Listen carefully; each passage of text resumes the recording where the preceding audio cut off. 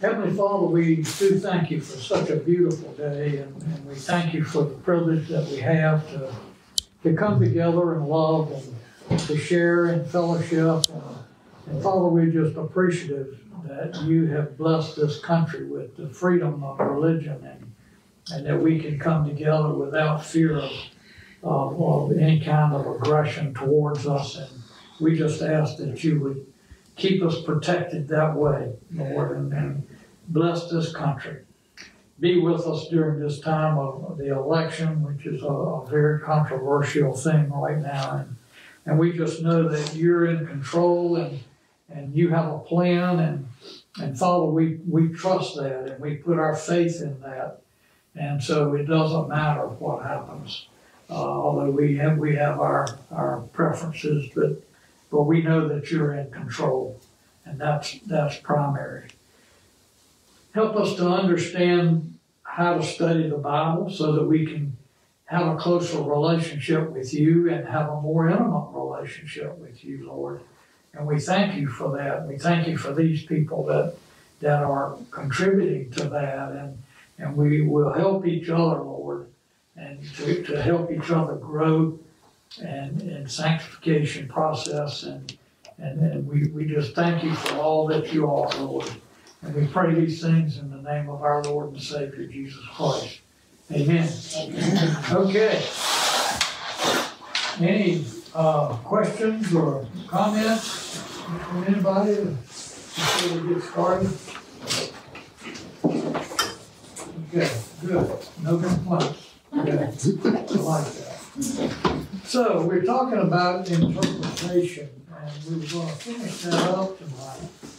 And before I say that, everybody got the, uh, yeah, because I've talked to all of y'all, and I know I've gotten answers back from most of you, and I'll get them, and we'll talk about that later about the method of Bible study, because we got to talk about that a little bit and sort some things out.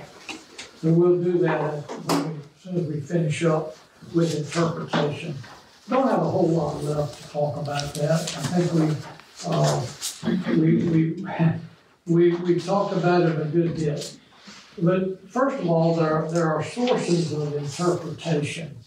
And the Bible's been around for, for many years, and parts of it for as long as 4,000 years.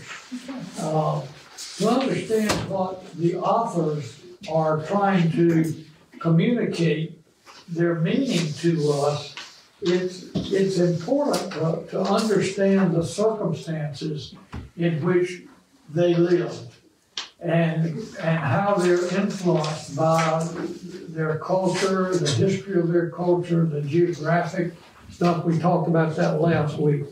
Um, to do that, there's a, at least four gaps that we have to fill in to be able to in, rightly interpret what we're studying. Okay, um, we got to remember that none of the biblical authors spoke with Pennsylvania Dutch slogans. None of them had a Southern accent, and and, and we there's a language barrier.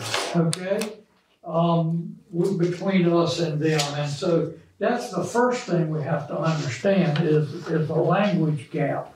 And there's, there's, uh, there's four language, four gaps that we're going to talk about for a little bit tonight. And the language is the first one. We talked about that before, um, talking about looking up words in the Greek or the Hebrew and also looking at the context of how that word is used in that verse or in that pericope, maybe in that paragraph. It, because it's different. They use different words or the same word but has different meanings. Okay? So it's important to have a resource that you can look at that will give you all of those different meanings. Hey, Matt, come on in. And so, um, we're talking about the language gap. Uh, there's, there's, there's four gaps that you have to to do, Matt, to, to be able to correctly interpret uh, what you're, what you're studying, whether it's the Bible uh, chapter, the Bible book, or a verse, or a topic, or whatever. It's, you have to interpret it, you have to, to understand these gaps and put, put these things together so that you get a correct interpretation of what the author is trying to communicate to, uh, in his writing, okay? Um, so, the language gap is, is the, the first one, and the second gap is the cultural gap. I wanna read, uh, from John MacArthur, he, I like how he explains something, and it makes a lot of sense to me. He says that the cultural gap must be bridged because cultures can be very different. If we don't understand the culture of the time in which the Bible was written, we'll never understand its meaning. For example, in the beginning was the Word, and the Word was with God, and the Word was God, from John 1 1. Now, what does that mean? Why didn't he say in the beginning was Jesus? Well, he used the word because that was the vernacular at that time. So to the Greeks, the term word was used to refer to a kind of ethereal spatial energy that was floating around. And John said to the Greeks that this floating cause, this thing that caused everything, that spatial energy, that cosmic power, is none other than the Word that became flesh in verse 114. So to the Jew, the term Word was always the manifestation of God because the Word of the Lord was always God emanating His personality. So when John said the Word was made flesh and dwelt among us, he was identifying Jesus Christ, the incarnate Christ, as the very emanation of God. In the text, therefore, he meets both the Greek and the Hebrew mind with the right word that each can identify with at, at vital points. That made sense to me. I had never read that or heard that before. And I've, I've always liked John 1. I, I, I've always liked that verse of scripture, you know? And, and, and so when I read this by John MacArthur, it just made perfect sense because it, it just, that's, that's how John was communicating to the people. Okay, and they, they got it. They understood that in that way. And I want to understand it that in that way. Okay? And I have my own way of understanding it in addition to that. And so I can, now that, that I have experienced the resurrected Jesus Christ, I experience that differently. Okay? And so I can, I can add a plus to it. Okay? And that makes sense to me. So that's the second gap. The third gap is the geography gap. And I've drawn a map up here. That's now please don't laugh at me. That's that I'm not I don't claim to be an artist, but that's the map of Israel, in case you didn't recognize that. of course it has Jerusalem and Nazareth in there and all that. It, it you can figure that out. But that's a map of Israel. And the reason I wanted to, to, to talk about that in the context of talking about the geography gap was in our Sunday school class the last couple of weeks. This made a difference in how I understood a question that came up in class. And we spent two weeks talking about it. The, the question was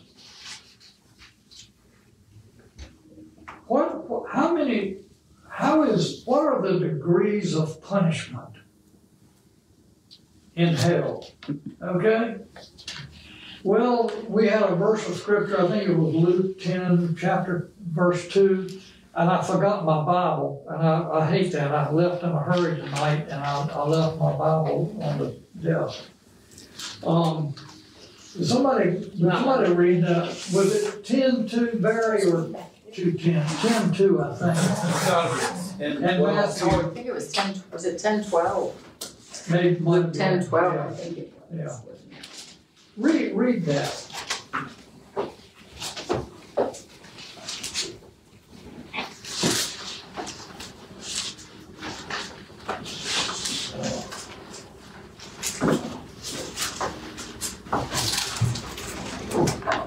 My phone is dead. So you can't look at the Bible there either. Did you say And- and You're in sorry shape. Yeah, double whammy. I don't know if this is what you were looking for. It says, I tell you, it will be more bearable on that day for Sodom than for that town. Okay, so he's comparing, saying, and, and, and so here's where geography comes in. Okay? Jesus, Jesus was born in Nazareth. The majority, I don't need it now. I got two feet there now. Well, here in this region, this is where Peter and Paul and, and and John and all those, a lot of those uh, disciples were born up in this area, okay? In this area, this is the, uh, Gennesaret where the, uh, he, he healed that, uh, guy with the, uh, took the demons, I forget how many legions of demons out of him and put them into pigs, and they ran off into the into the water. And and he he did a lot of miracles. This is where he had up in this area is where he fed the five thousand. Actually, it was probably about ten thousand because it was five thousand men, and they had their families with them. So you're looking at a woman and and two or three kids probably. So you're looking at probably around ten thousand people that he fed with a few loaves and fishes. And that was up in this area. And so what he's saying is, what have I got to show you? What, what have I got to do? If you don't believe, and, and I've done all this, and you don't believe me, it will be better for Sodom and Gomorrah than it will be for you. That's how I'm interpreting that. And it makes sense to me because he he performed a lot of miracles up in that area. Okay? If he did that in our era, in our area, and people didn't believe him, we would go, Are they nuts? We'd say that now because why would someone not believe Jesus Christ given all that we know about him? And it's historical.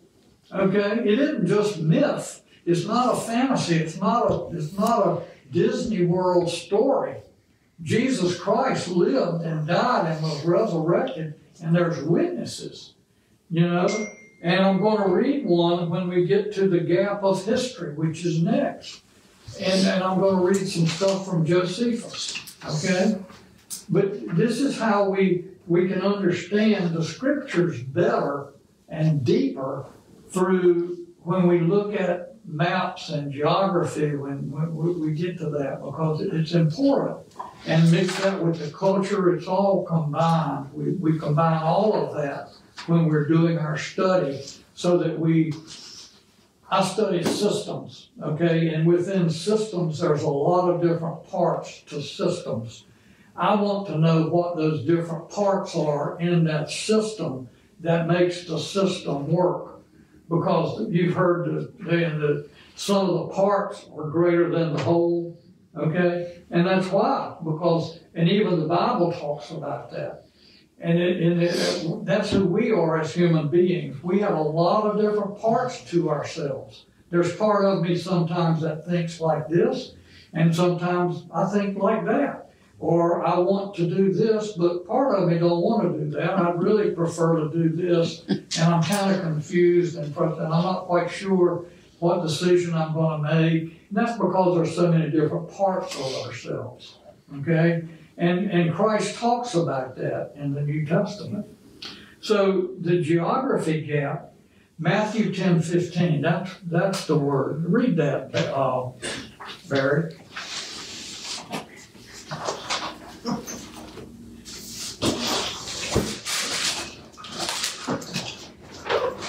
And you, Capernaum, who are exalted to heaven, will be brought down to Hades.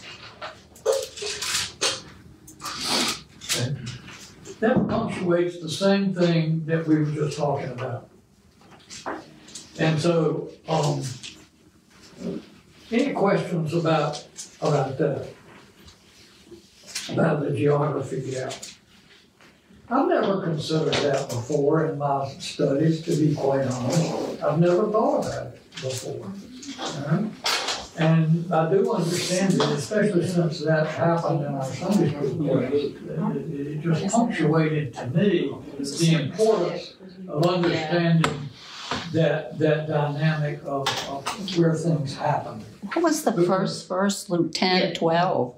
It was Matthew or Luke? Luke ten twelve is the first one. Okay, and then Matthew ten Fifteen. fifteen. Okay. Sorry. That's okay. I was wondering, I didn't have the same thing you did, but that's all right. Do you wanna read it again, Barry? You can, you know where it's at. I'll put you- Truly I say to you, it will be more bearable on the day of judgment for the land of Sodom and Gomorrah than for that town. Dan, in the, in the context of that verse, if you read above it, um, are preachers to wipe their feet off if a church in town accept? I mean, I, I've thought of that, literally, of, of wiping my feet and when I left and, you know, nobody would understand it if they didn't think of that. But, you know, if you've tried and tried and tried and, and you just can't get through to these people and Yeah. they want to keep their small Yeah. little church and they don't want to reach people for Christ.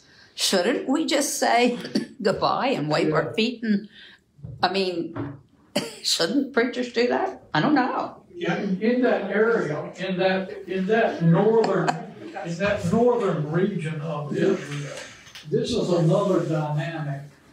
Gnosticism was very powerful in this region at that time, okay? And so Gnostics are very kind of know-it-allish. They, they already got the answers to everything. You, I don't care what it is, they know it. All you have to do is ask them, you know? And they, they- can tell you what, what is. And so they, those kinds of people, and I, we see that in people today that reject Jesus Christ. Because they reject that teaching, okay? And it, it, it, it just, it's frustrating to see someone that you like, maybe a relative, and they just won't accept Jesus Christ. That is a frustrating process.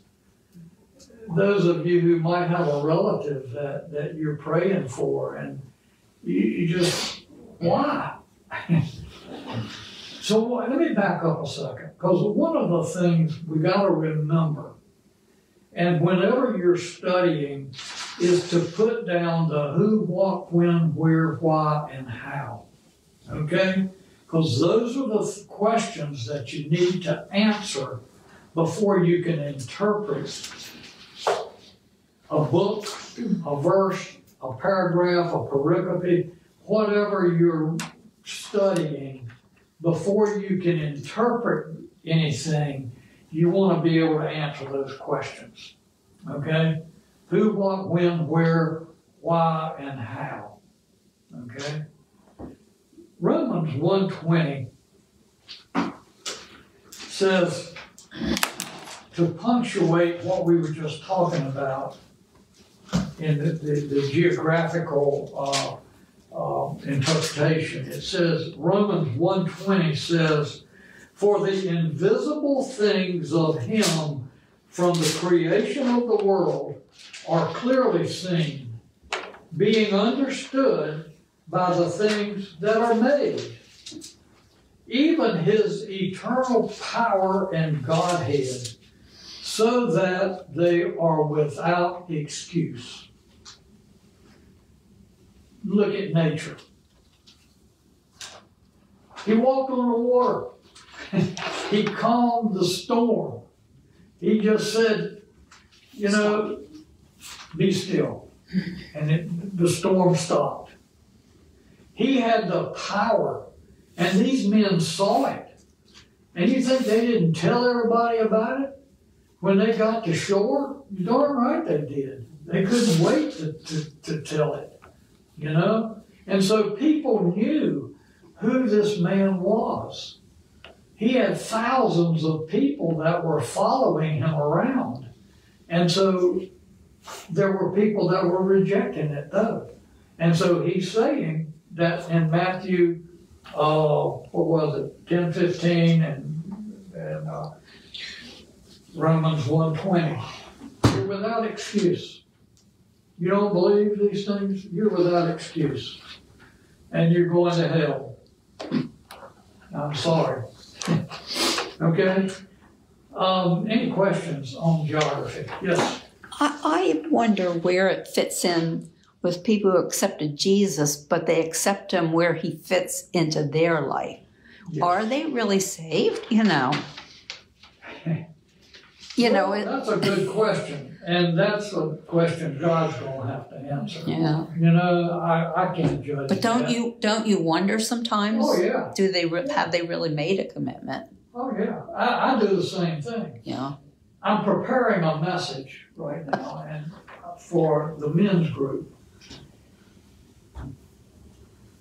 I'm taking it from uh, not not too long ago. I talked about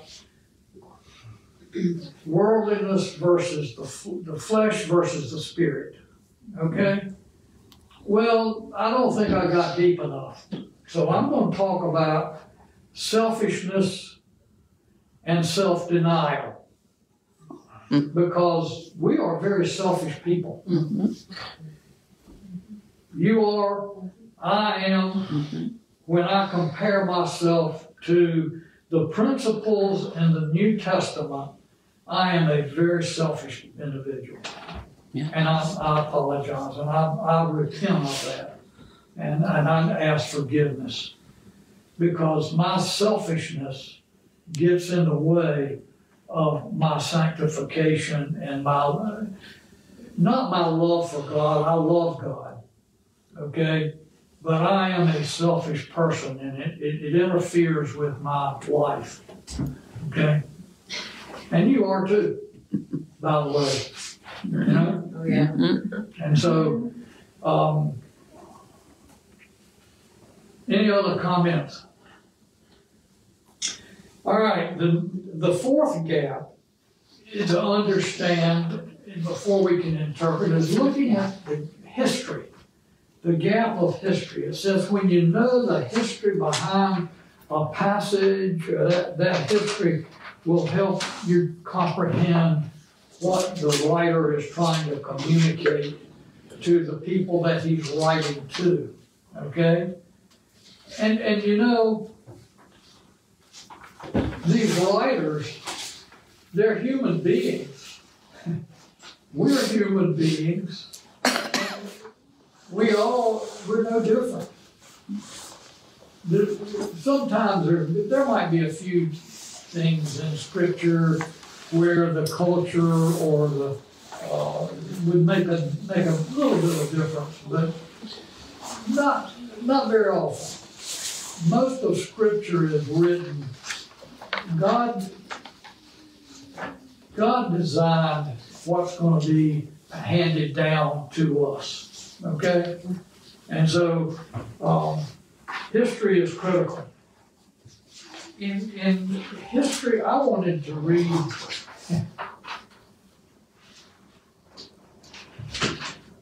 Yes, I had a professor when I was um, getting my bachelor's that said you can't study history without studying the Bible, and you can't study the Bible without studying history. I agree. Yeah, And how true it is.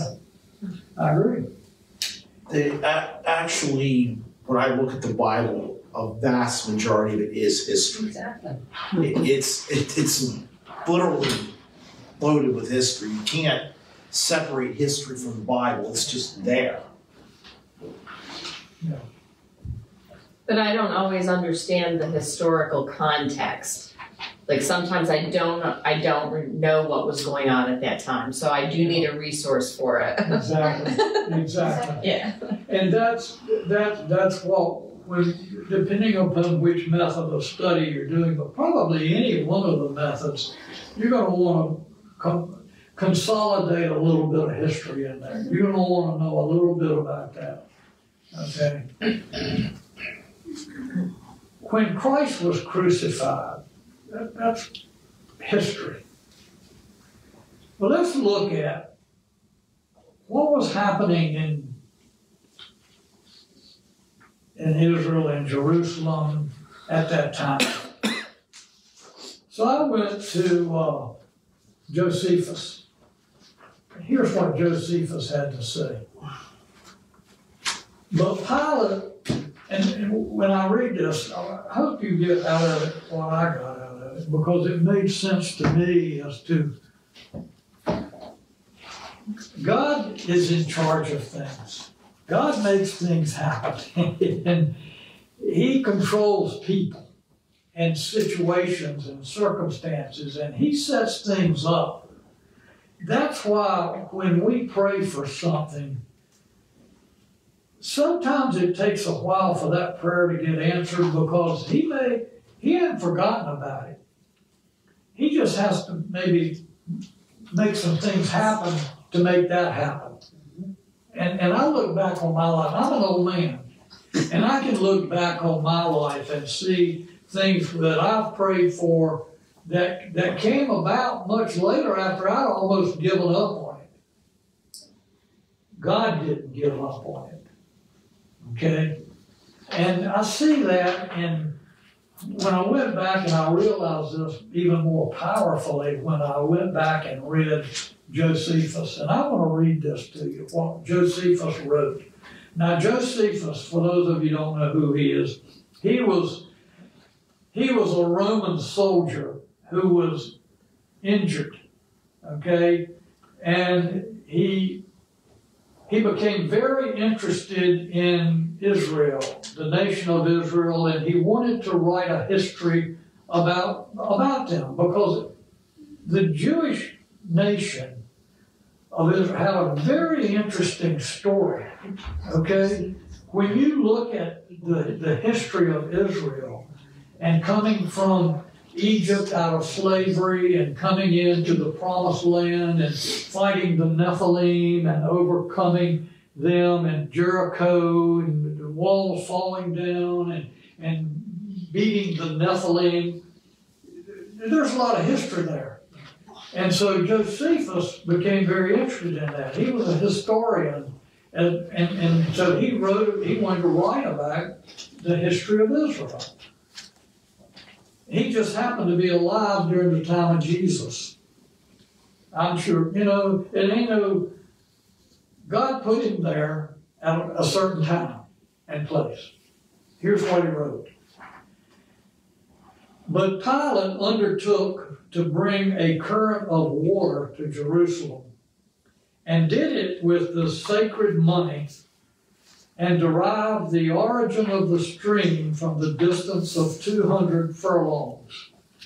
Now, some of the language in this, I, I didn't understand some of it, but I got the gist of what he's saying. And I think you will too if you don't get caught up into the, the, the terminology and the verbiage that he uses. Because this is written, uh, what, 2,000 years ago. Okay? So, however, the Jews were not pleased with what had been done about this water. And many, ten thousands of the people of the Jews got together and made a clamor against him and insisted that he should leave off that design. Now, I didn't read the part where Pilate wrote about how, I mean, Josephus wrote about how Pilate came to be in charge of the, the area at the time he did, okay? It, it was, he, he was in the Roman army, I didn't, I didn't do that, I wish I'd done a little bit of that, but just so you know, he hadn't been, Pilate had not been over this area very long. And so he, there was a water problem. And so he, he gonna take care of it. Well, the Jews didn't like how he took care of it, and they're, they're raising Cain. Pilate had already gotten into trouble with Rome. Okay, so now he's afraid to lose his position in Jerusalem. Okay? And so some of them also used reproaches and abused the man, as crowds of such people usually do. So he habited a great number of his soldiers in their habit who carried daggers under their garments. So he gets a bunch of his soldiers and he put his chair out in the middle and he put his soldiers all around him. And they, unarmed, but they had daggers underneath their cloaks, so they, they looked like they were unarmed. So the Jews would come in to have a meeting with Pilate, okay? And so he sent them to a place where they might surround them. So he bade the Jews himself to go away, but they boldly casting reproaches upon him, he gave the soldiers that signal which had been beforehand agreed upon, who laid upon them much greater blows than Pilate had commanded them, and equally punished those that were tumultuous and those that were not, nor did they spare them in the least. And since the people were unarmed and were caught by men prepared for what they were about, there were a great number of them slain by this means, and others of them ran away wounded, and thus an end was put to this sedition. He had his soldiers kill a lot of these 10,000 men, and who weren't killed, a lot of them were wounded, and they ran away, and Pilate won the argument. But he's still in trouble because that could get back to Rome. Now, there was about this time a man named Jesus. And if it be lawful to call him a man, for he was a doer of wonderful works, a teacher of such men as received the truth with pleasure. He drew over to them both many of the Jews and many of the Gentiles. He was the Messiah. And when Pilate, at the suggestion of the principal men amongst us, had condemned him to the cross, those that loved him at the first did not forsake him. For he appeared to them alive again the third day, as the divine prophets had foretold these and 10,000 other wonderful things concerning him. And the tribe of Christians, so named from him, are not extinct to this day. That is a secular historian writing. Not only Josephus, but numerous other historians from that time wrote about the same stuff. That's history. That's secular history. Okay? We have history in our Bible, but that just punctuates the, history that's in the Bible. Okay? So Pilate had to give in to crucifying Jesus because of the circumstances. He had to protect his career. So he washed his hands of it because, yeah, yeah, I mean, you know, that's a, oh, I crossed my fingers, let me uncross them. I mean, these guys are superstitious and they're, they don't have the same value system as, as we do as Christians, okay? You know people like that today, you know? They're, they're very superstitious or, or, uh, uh, just put their faith in something other, and their hope, in something other than Jesus Christ, okay? And so do we. We put our hope sometimes in things that other than Jesus Christ, uh, and that's why we're selfish, because we do that. All right. So those are the gaps, and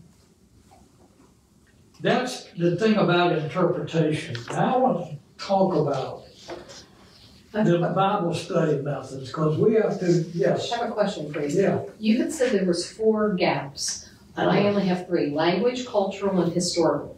Geography. language, cultural, geography, and history. Okay, thank you. Okay.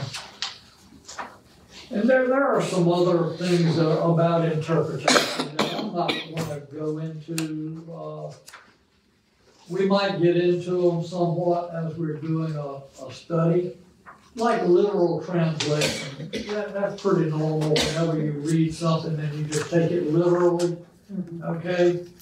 Some things you can take literally and some things you can't. You need to delve in, you need to jump in deep end, okay? Especially depending upon your questions about things. Because when you're reading scripture, you should, remember, you want to keep a notebook beside you and have questions as you're reading. You read something and you, you come up with a question in your mind and you want to write it down. Because it will escape you. It does, I, I, oh, I'll never forget that. I'll be all right. And Fifteen minutes later, what was I thinking about? And so write it down. So I have about three or four composition notebooks on my, excuse me, on my desk now. And, um, so I have to look through all of them because I'm ADHD and sometimes I write the wrong question in the wrong composition book. Uh, You know, I'm, I'm not that organized. But that's Cindy's strength and she keeps, helps keep me straight a little bit. That's what brought us together. So, any questions, comments about what we talked about? Yeah, ma'am. Here's something interesting, and when you get into the Bible, lineage is extremely important to understand. And here's what's interesting people miss this passage in Matthew. In verse 6, Jesus specifically says to go to the lost sheep of the house of Israel. Now, who is the house of Israel? Does anybody know? The house of Israel goes back to Genesis 48 when uh, Jacob, who was renamed Israel, adopted Joseph's two sons, Ephraim and Manasseh, and said, My name shall be upon their descendants. He then, in 49, gives the birthright which was the scepter and the right to rule which Christ came through on Judah and said that the brothers, the descendants of those brothers, would carry their brother's name Judah. So, what you have is you have this group of people. Why was there tension between the house of Israel and the house of Judah? And why do you see this play out today? Because when you go to the book of Hosea, God divorced the house of Israel. He said, You're not my God, I'm not your people, which made them Gentiles. This was the tension. What they were actually doing was they were going to the remnant of the house of Israel to proclaim the gospel. And naturally Jews and the, these people, which a lot of them were Samaritans, did not get along. And, and that's the context here. Okay, It, it's an interesting context to look at. Mm-hmm. okay, yeah. And it, it involves history, it involves the culture, it involves characters, it, you know, there's, there's a lot to that that you Yeah. have to look at. Um, that would be, the House of Israel would be an interesting study. It'd be an interesting topic to study. But let's talk about the Bible study methods. Um, I've got,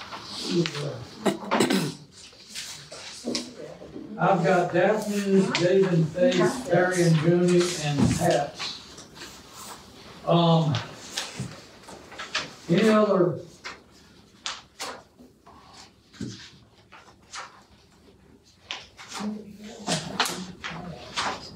What you wanna study? Give me a- One oh you're thinking about. I know, I mean,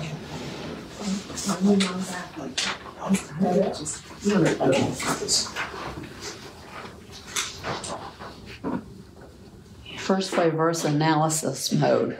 What? Verse by verse analysis method.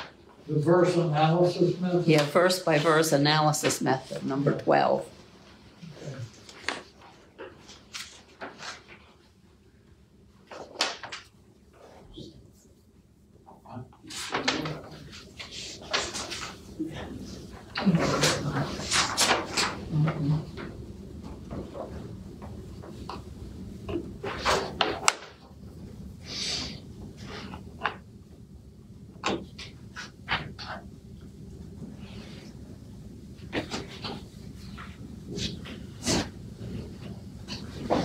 Matt, you got one picked out What? about the study method? No, I was, mm-hmm. I was, my mind was elsewhere, Okay, so. I'll send it. how about you, Janet? Well, I wasn't here last week for that, but I did see it in the You're here study. But You got it? I was busy doing the other stuff. Do you have a, any, any particular one of those stand out for you? Wow. Yeah, You, Liz, and, I was just looking. Well, I definitely don't want two. huh? I definitely don't want two. You don't want to, the No. chapter summary method? Yeah. Well, eventually you'll have to do that.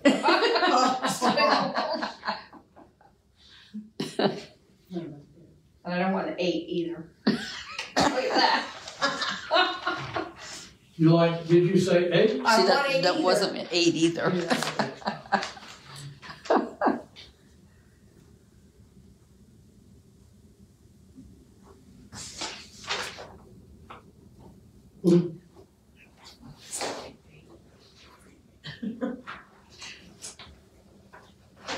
One that they don't have is the word by word by Dr.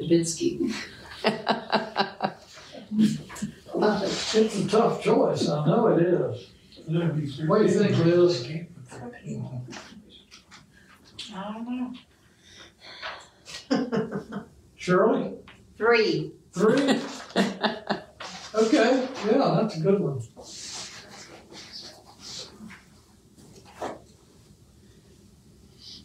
How about seven?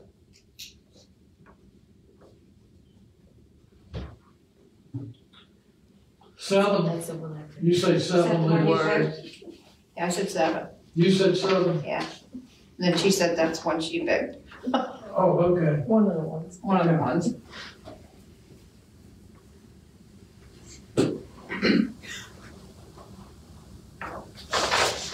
So everybody picked a different one. He's gonna, he's gonna do them, he's gonna do them all. Do it on our own. We're gonna do them all, I don't think it matters. Shirley, what character quality do you wanna get? You can just continue onward. Or didn't you pick one? I haven't picked one yet. Oh, okay. I think we might have to pick unselfishness. Yeah. Yeah, you're right. Uh, Did you pick one? No, I haven't picked one. I'll take three too, dear. What did you say, Liz? I'm sorry. Three She's taking three too, yeah. Character, okay. I need that.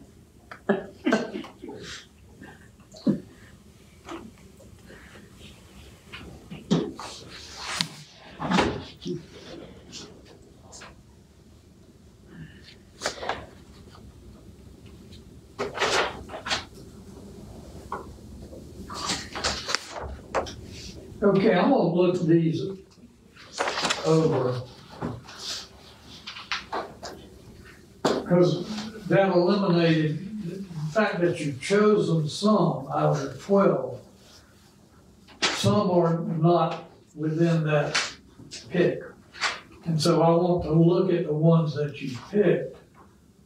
And I reserve the right to decide. There you go. Okay. Are you in agreement with that? Sure. Are you okay with that? Yeah. All right. I don't think we had a choice. How about the people, Yeah. Should we take a vote? how about the people on the line? Have they made any let me see. comments about that or picked any?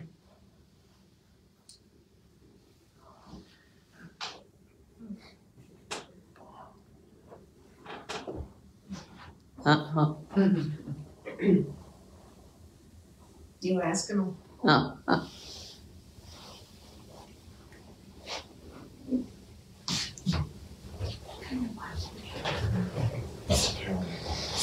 But they didn't comment on it. Matt, do you have a list? Do you have that listing? No, I don't have. You want one? Yeah, I'll take one.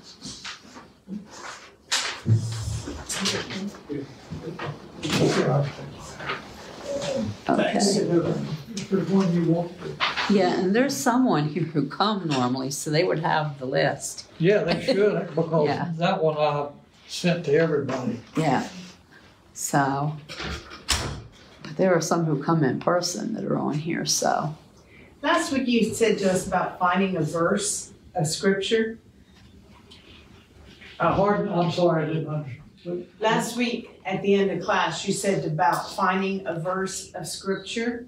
Um, what was the purpose of that? Just to, to study, just to look at. And, uh, To read and have questions about and just meditate on it. Okay. Okay? When you meditate on it, and we've done some medit, there's simple meditation process, but hopefully as you practice that, it will grow, it will, the, the, the, the strategy, the skill will improve as you, as you practice it, okay? And it takes practice on meditation because it, it just does. It- Because if you get bombarded with the, all the external thought processes, you have to learn how to manage that. That's the toughest part. And there's sometimes, there's, there's a style of meditation to where you allow that. You allow that external, those external thoughts to, to come in because, and you just, you just identify them and process them and some of them evaporate and some of them grow larger, okay? And that's good because then that creates insight, okay? And you want insight into yourself. Because this is the thing, when we're studying the Bible, it's about me and God. And I want insight into me. It's easy for me to get insight about Cindy, right? You know what I mean. Every- you know? We, we, it's easy to figure what somebody else is about. But when we try to figure ourselves out, it's a little more complicated. That's why say selfish is, is a good word to identify us. Okay? And so, anyway, here's, here's my dilemma, and I'm gonna need your help to help me with my dilemma. I've never taught this class before. This is the first time I've ever taught a how to study the Bible class, all right? This is new territory, and so help me out. Let's, let's make this a good class, and I need each of you to contribute to that. just as much as me, okay? I've talked about some of the methods, et cetera, et cetera, and we'll, we'll still look at some strategies as we go along. Because what we, I, what I hope will happen is if we, when we take a particular method and use it in here, we're gonna help each other. And we're gonna learn from each other, okay? And we're gonna grow because of it, okay? And, and Are you so- gonna take like one meth, like a method and everybody's gonna do that same method? That's what I'm thinking Okay. about, Joni, but I, I'm, I'll be honest. There's part of me that wants to do that because I don't know any different. But there's a part of me that says maybe I would like to let each of you do your own thing and we talk about, it. but I think that would get like, Yeah. more like an atom and it would get too confusing. Um, so I may have to come back to that, uh, if you take one. Because we can get through all of them. And some of them, because I've found this to be true, some of them is, we'll be, we'll be doing two or three, or two, or at least a couple of them at a time. Mm-hmm. Okay? You just kind of do like especially in topic, topical studies, chapter studies, book studies, you're gonna incorporate some of the other methods as well.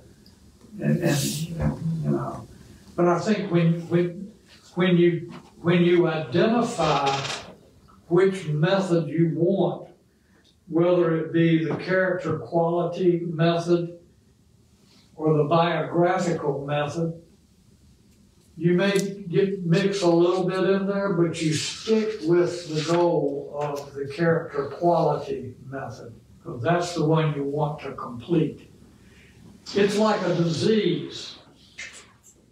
With a disease, you have a lot of symptoms. Those symptoms might occur in a lot of other diseases. But this one disease is the one the doctor is gonna be focused on, right, Pat? Even though these symptoms occur in other illnesses.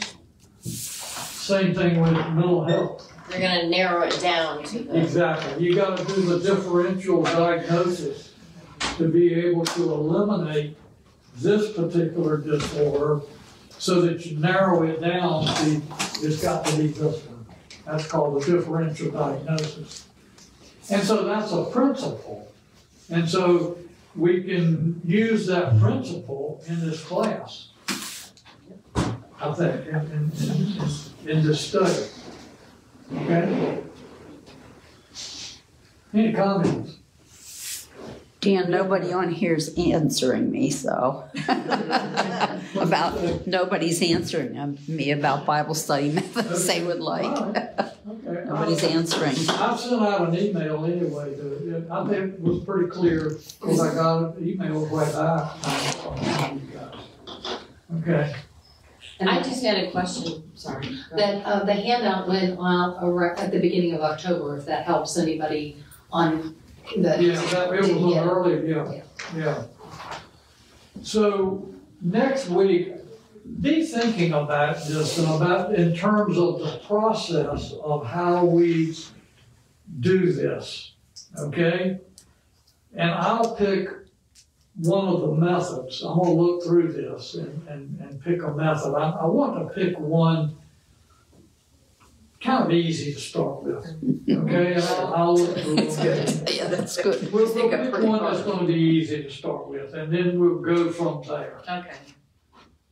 But be thinking about the process and your, i- I would like to hear your ideas about how we, that process would evolve and, and, and function, okay? And we can, we can turn this into something that can be very beneficial for all of us, I think. Okay? Because we all wanna, eh, the one thing that I was impressed with is almost every one of you talked about you wanted to improve your relationship with God. Amen. Hallelujah. That, that's, that's what this is about. You know? Is, is, is growing that in sanctification, okay? And growing that relationship with God and getting closer. And, and I can feel it in myself just in this short period of time that I've been doing this class. Okay? I can, I- I've experienced it. And so I, I'm, I feel good about this. Okay? Mm-hmm. Any comments, questions, concerns? I just had a question about your handout from the end of uh-huh. last week, the daily spiritual diary. Yeah. I missed last class, so I apologize. Yeah, I just handed that out in case, for just when you're reading something and you want, it, it's a good guide for, or, a you know, it's a, a, a, a sheet for you to write on. Okay. You know, but it has some structure to it, Mhm. to take notes.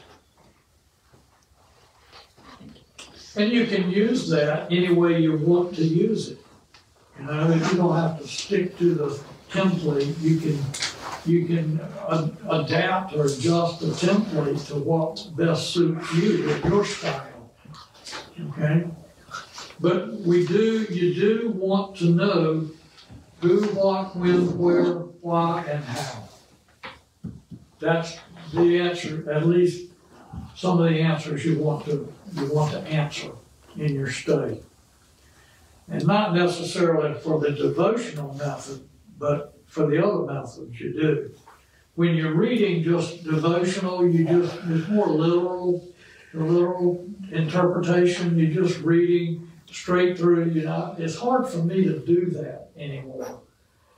I find myself going down a lot of rabbit holes when I'm studying because being able to so easily hover my mouse over the, and it gives me that verse of scripture and oh yeah let me check that out and I here we go you know and, and so it, I have to I have to I have to use the strategies I teach for ADHD people I have to re-engage that for myself because it's easy for me to lose focus and, and go down.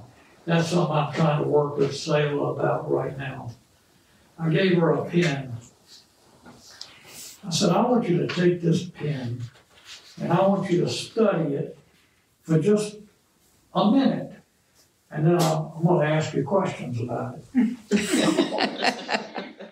what, what, what part's black and what part's gray? Well, the bottom part's right. What's the writing on it about? What, what, what's the make of the pen? What kind of pen is it? And- so forth. And I, I'd ask, and I'd ask a lot of different questions because when you, it teaches you to focus. Mm-hmm.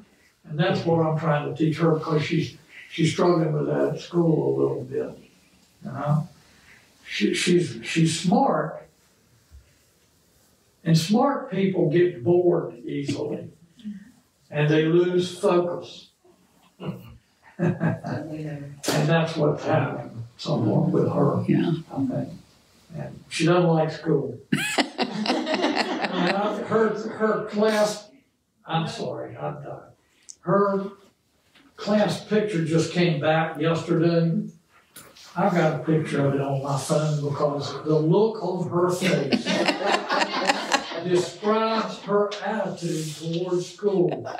Cindy sent me a text That's when she got the picture, and she, Cindy said, Cindy said, Selah's school pics look like she feels about school. It is definitely, it is, I love this picture. What grade is she in? Get it over with. What grade? Fifth. She's a long way to go. I enjoyed her. I observed the, the three to sixth grade uh, Oh, did last you? week. I enjoyed her. She, Yeah. because I never got to really communicate with her because she's usually very quiet. Yeah. She Yeah, she wasn't, is quiet. she's, well, she's quiet, but she has her opinion. And, The wheels are turning. oh, yeah. Oh, yeah, even in the nursery when I had her.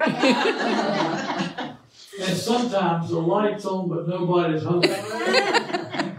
Do you think I should finish this? Yeah, that's, that's, um, thank you guys for coming and be thinking about what we're gonna do, how